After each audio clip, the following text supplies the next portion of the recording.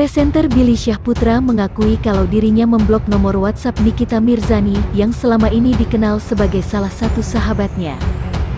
Namun, Billy mengatakan hal itu dilakukan bukan tanpa alasan. Dia menceritakan semua berawal saat Nikita tak merespon teleponnya. Awalnya gue teleponin dia, WhatsApp juga nggak dibalas sama dia. Tiba-tiba, Mami, sebutannya ke Nikita, ngomongin gua dan lain hal.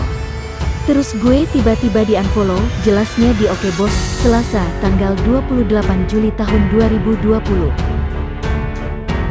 Gua juga nggak ngerti IG-nya di unfollow. Daripada dia marah sama gua, gua blok aja daripada berantem kan, udah. Terus dia, Nikita, tambah marah, lanjutnya. Sebelumnya, Nikita Mirzani yang mengungkapkan kalau WhatsApp-nya diblok Billy yang membuatnya harus menagih utang lewat Instagram. Gue diblok nomornya pakai handphone yang gue beli sendiri. Sekali lagi, gue tidak berantem dengan Joni Roma, Billy Syahputra.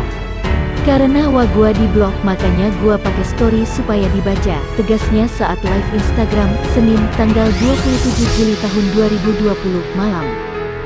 Nikita mengaku tak tahu menahu mengapa nomornya diblok. Mana gua tahu akar permasalahannya, kan gua nggak berantem sama DC, dia, jelasnya saat ada netizen yang bertanya di live itu. Dia menyebutkan utang Billy ada dua, yaitu handphone senilai 20 juta rupiah dan uang kolam renang 12 juta rupiah. Kan dia bilang nggak punya uang. Lu pikir handphone itu murah, 20 juta rupiah itu, ungkapnya.